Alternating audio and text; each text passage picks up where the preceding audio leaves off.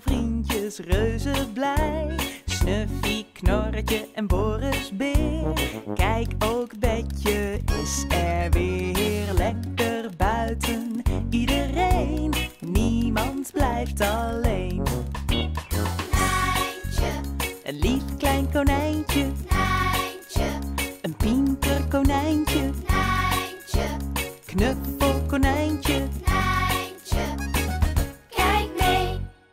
Nijntje speelt doktertje. Op een dag speelt Nijntje met haar vriendin het doktertje. Aagje doet alsof ze ziek is en ligt in Nijntjes bed met een thermometer onder haar arm. Nijntje is de zuster. Ze pakt de thermometer en schrikt. Dokter, dokter, roept Nijntje. U moet snel naar Aagje komen kijken. Daar komt dokter Nina binnen. Ze pakt Aagjes hand. Oh, dit zou wel eens erg kunnen zijn. We moeten Aagje een pilletje geven. Oh nee, zegt Nijntje. We hebben geen pilletjes, dokter. Nina gaat naar de keuken en vraagt... Mevrouw Pluis, heeft u misschien een pilletje voor Aagje? Nijntjes moeder moet lachen. Ze wil het spel niet bederven, want ze weet hoe leuk de vriendinnen het vinden om doktertje te spelen. Dus antwoordt ze: Ik heb een heel goed medicijn. Ik weet zeker dat Aagje daar heel snel weer beter van wordt. En ze geeft dokter Nina een schaal met snoepjes.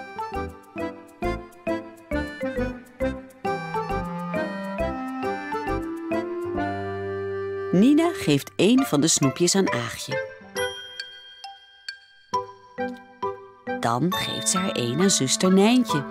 En natuurlijk neemt ze er zelf ook een. We moeten wel zeker weten dat het goede pilletjes zijn, zegt ze.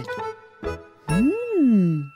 Aagje is zo ziek dat ze een heleboel van deze pillen nodig heeft, roept ze. Op dat moment komt vader Pluis thuis van zijn werk. Wat hoor ik daar? zegt hij. Is Aagje ziek? Wat vervelend. Maak je geen zorgen, fluistert moeder Pluis. De meisjes spelen doktertje. Vader Pluis heeft ook wel zin om mee te spelen. Nou, zegt hij, ik ben blij dat er een dokter in huis is. Ik voel me helemaal niet lekker. Dokter, dokter, roept moeder Pluis. Hier heb ik nog een zieke. Dokter Nina komt binnen en voelt aan vader zijn pols. Hmm, zegt ze. Dan roept ze Nijntje. Zuster Nijntje, kunt u mijn dokterstas even brengen?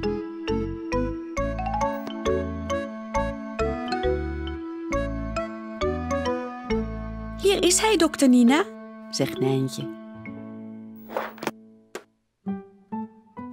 Nina pakt de stethoscoop en zet deze op de borst van vader Pluis. Ze luistert goed. Hmm, zegt ze nog een keer. Wat is er aan de hand, meneer Pluis? Nou, zegt vader Pluis, ik voel me niet zo lekker en mijn oor doet pijn. En hij krabt aan zijn oor.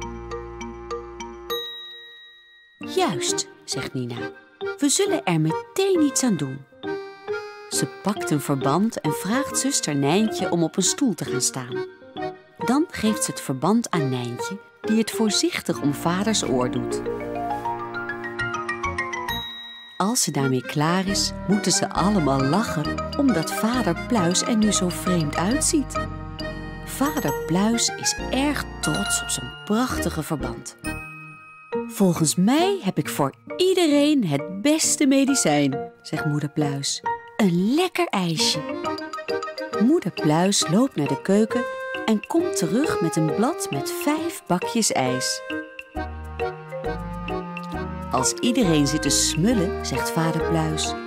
Dit is het beste ziekenhuis van de hele wereld. En iedereen voelt zich weer helemaal goed.